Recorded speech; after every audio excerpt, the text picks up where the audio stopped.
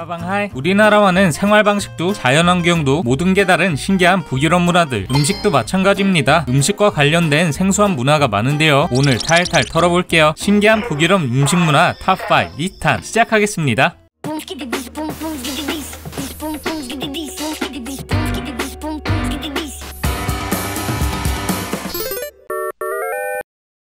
나라마다 외국인을 당황시키는 음식이 있기 마련인데요. 스웨덴의 전통적인 저장식품 surströmming이 그렇습니다. 스웨덴어로 시큼하다를 의미하는 sur와 청어를 뜻하는 strömming의 합성어로 직역하면 시큼한 청어입니다. surströmming이 대중화된 것은 16세기 이후 꽤 오랜 전통을 가지고 있는 요리인데요. 제조 과정은 정말 간단합니다. 청어를 소금에 절여 두 달 정도 삭힌 후 캔으로 옮겨 담으면 완성. 다만 통조림임에도 별도의 멸균 처리를 하지 않아서 캔 속에서 발효가 지속된다고 하죠. 음, 맛은 어떨까요? 이거 이거 세계 최악의 악취 음식으로 악명이 자자합니다. 아찔한 향으로 유명한 우리나라의 홍어는 명함도 못 내민다는데요. 통조림을 개봉하는 순간 그간 묵혀뒀던 가스들이 몽땅 튀어나오면서 악취를 온 사방에 퍼뜨리죠. 흡사 하수구를 떠올리게 하는 고약한 냄새. 집안에서 따면 적어도 일주일 이상은 냄새가 가시질 않아서 암묵적으로 실내에서 먹는 것이 금기시 되어 있죠. 뭐? 그래도 맛은 괜찮지 않나요? 너, 너, 반전은 없습니다. 썩은 양파 맛이다. 화장실을 먹는 맛이다. 라는 후기들이 넘쳐난다는 수루 스트레밍이 세계적으로 유명해진 충격적인 일화들도 있습니다. 1981년 독일의 한 아파트 집안에서 수루 스트레밍 캔을 오픈한 입주자 때문에 제대로 빡쳐버린 집주인 해당 입주자를 바로 강제 퇴거시켜버린 사건이 발생하는데요. 판사는 집주인의 손을 들어줄 수밖에 없었다고 합니다. 재판장에서 집주인이 직접 수루 스트레밍의 뚜껑을 따서 모두에게 체험을 시켜줬기 때문이라고 2014년 노르웨이의 한 주민은 무려 1990년에 사뒀던 수루 스트레밍의 통조림을 까먹고 있다가 발견합니다. 바로 폭발물 처리반에 신고하는데요. 인근 주민들을 대피시키고 방송국이 이 장면을 중계했다고 하네요. 이런 악평에도 불구하고 수요는 꾸준히 있는 편입니다. 스웨덴의 대형마트 어디서든 쉽게 찾아볼 수 있고요. 매년 8월 셋째 주 목요일은 surströmming을 먹는 날이라는데요. 모유걸에 잡은 청어를 두 달 정도 잘 숙성시킨 8월이 가장 맛있는 시기거든요. 그럼 어떻게 먹으면 될까요? surströmming은 캔을 까서 그대로 집어먹는 음식이 절대로 아닙니다. 적당히 삭은 청어를 꺼내서 물로 한번 씻어 악취와 염분을 어느 정도 뺀 후 버터를 바른 flatbread에 양파, 감자, 사워크림, 치즈 그리고 surströmming을 올려 오픈 샌드위치로 만들어 먹습니다. 곁들이는 음료로는 우유가 최고인데요. 자극적인 냄새와 맛을 어느 정도 중화시켜준다고 하네요. 이렇게 하면 그나마 먹을만 하다는데 그래도 절대 맛보고 싶지는 않네요.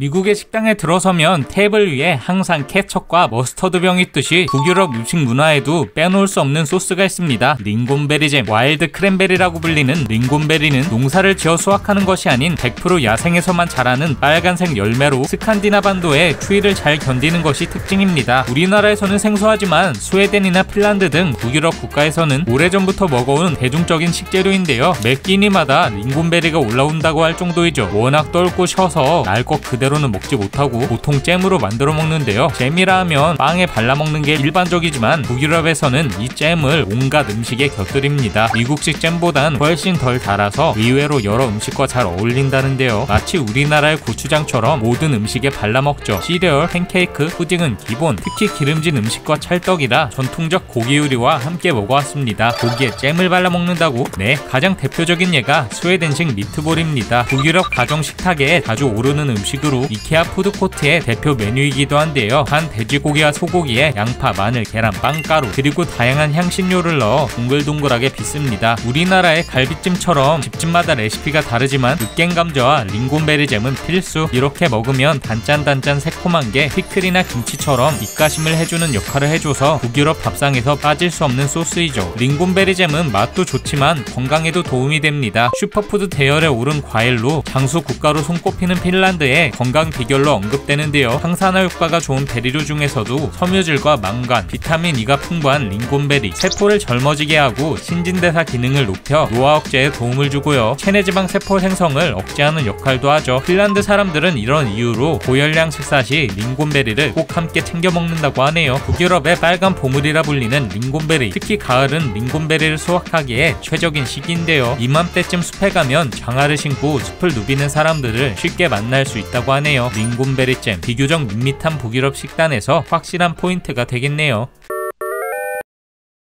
여기 유명한 핀란드 과자가 있습니다. 살미아키. 현지에서는 널리 알려진 자일리톨보다도 국민 사탕 대접을 받는다는데요. 나라를 대표하는 맛이라고 여길 만큼 핀란드인들의 살미아키 사랑은 대단하죠. 유명한 건 핀란드의 사탕 브랜드 파제르에서 나오는 마름모꼴 살미아키. 마름모를 지칭할 때 아예 살미아키 모양이라고 부르기도 한다는 식감은 조금 단단한 카라멜 느낌 사탕처럼 녹여 먹어도 되고 씹어 먹을 수도 있는데요. 마치 타이어를 잘라놓은 듯한 질감과 빛깔 사탕이 왜 이렇게 까매? 라고 할수 있지만요. 주재료로 서양 감초라고 불리는 리코리스가 들어갔기 때문입니다. 오히려 검은색을 부각시키기 위해 식용 숯가루를 첨가해서 더 까맣게 만들기도 한다고. 그런데 이 사탕 세상에서 가장 맛없는 사탕으로 유명합니다. 유튜브에서 살미아키를 검색해보면 전 세계의 수많은 사람들이 이걸 먹고 몸서리 치는 영상이 넘쳐날 정도. 그만큼 외국인에게는 매우 장벽이 높다는데요. 대체 맛이 어떻길래 감초에서 나오는 한약 비슷한 향과 특유의 단맛도 생소하지만요. 진정한 진가는 강한 짠맛에서 나옵니다. 염화 암모늄의 비중이 높은 살미아크 소금을 사용 퀴퀴한 풍미의 짠맛으로 뭐라 형용할 수 없는 이상한 맛을 내죠. 많이 먹게 되면 암모니아 향이 숨결에서부터 느껴진다고. 그래도 먹다 보면 묘한 중독성을 자랑하는데요. 사실 살미아키는 과거 약국에서 판매되었다고 합니다. 기침약으로 사용되었던 건데요. 간식거리가 풍부하지 않았던 시절 이것도 맛있어서 간식으로 먹기 시작한 게 오늘날까지 이어지고 있던 거죠. 우리나라에서도 과거에 어린아이들이 브루펜이나 가스활명수가 맛있다며 계속 먹겠다고 조르던 것과 비슷한 맥락. 살미아키는 북유럽 국가라면 어딜 가도 찾아볼 수 있지만요. 특히 본고장인 핀란드에는 살미아키로 만든 온갖 상품들이 넘쳐납니다. 살미아키 껌, 살미아키 초콜릿, 살미아키 피자, 살미아키와 보드카를 섞은 살미아키 샷까지 다 함께 시꺼먼 색을 뒤집어 쓰고 살미아키 맛으로 팔리고 있다는 이 사탕은 핀란드 사람들의 외국인 판독기로 쓰이기도 합니다. 살미아키를 외국인들에게 먹인 다음 고통스러워하는 모습을 보며 내적 환호를 지른다는데요. 여기서 먹을 만한데? 라고 무덤덤한 반응 을 보이면 오히려 실망하는 반응을 볼 수 있다고 하네요.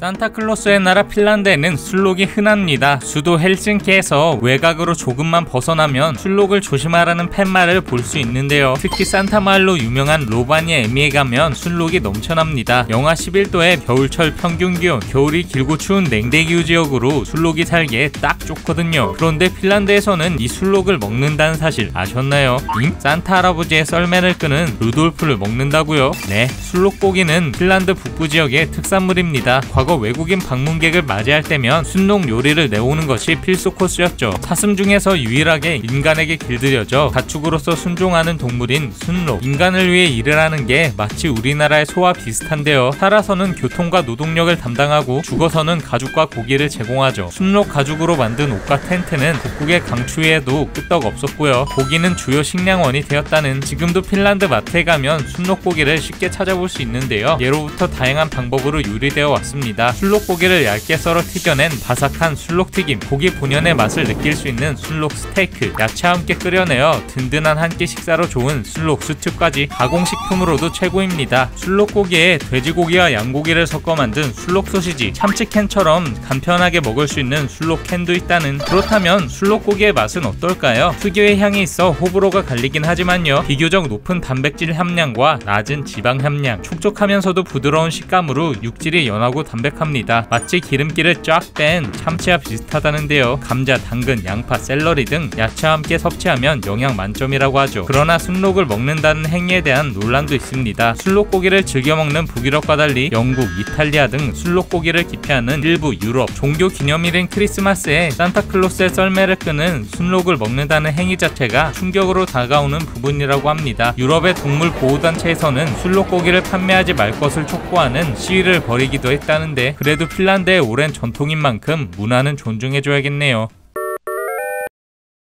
북유럽에는 어디서도 본 적 없는 신기한 음식들이 있습니다. 먼저 스웨덴의 대표적인 디저트인 공주님 케이크. 현지 베이커리 진열대마다 반드시 놓여 있는 케이크로 1920년대 스웨덴 왕실을 통하여 처음 소개되었습니다. 스웨덴의 공주들이 즐겨 먹었다며 이런 이름이 붙었는데요. 바닐라 크림과 잼을 켜켜이 쌓고 아몬드 가루, 슈가 파우더로 덮어 씌운 뒤 며칠을 굳혀 만들어야 하는 정성 가득한 케이크입니다. 포인트는 초록색 크림과 핑크빛 장미로 여러 기쁜 날 함께 한다는데요. 주로 생일이나 졸업 졸업식 같은 기념일에 즐겨 먹는다고 하네요. 겨울철이면 해가 뜨지 않고 밤이 지속되는 핀란드. 추운 날씨에도 불구하고 감기에 걸리는 사람은 의외로 많지 않다고 합니다. 그만큼 한겨울을 버티는 비법들이 넘쳐난다고 하는데요. 대표적인 건 어린 시절 엄마가 만들어주던 양파 우유입니다. 음. 양파 우유라뇨. 만드는 방법은 간단합니다. 잘게 썬 양파를 냄비에 담고 우유를 듬뿍 붓습니다. 중불에서 20분 동안 보글보글 끓여주면 핀란드 천연 감기약 양파 우유 완성. 우유의 단백질과 양파의 비타민 C가 면역력 향상을 도와 감기 예방에 효과가 있다는데요. 겨울철 별미로 양파 스프를 먹는 듯한 느낌이라고 하네요. 이 새를 아시나요? 억울하고 귀여운 표정의 새 퍼핀입니다. 아이슬란드의 대표적인 상징물인데요. 펭귄과 비슷한 생김새로 귀여운 데다가 똑똑한 편. 봄에는 주황색이던 부리가 겨울에는 회색으로 바뀌는 신기한 동물이죠. 삶의 대부분의 시간을 바다에서 보내지만 매년 여름을 새끼를 보살피기 위해 육지에서 나는데요. 전 세계에 서식하는 퍼핀 중 절반 이상이 아이슬란드에 찾아옵니다. 관광객과 현지인들 모두에게 사랑받는 작은 새 퍼핀. 아이슬란드 여행객들은 퍼핀을 한 번쯤 맛보고 싶어 하는데요. 응?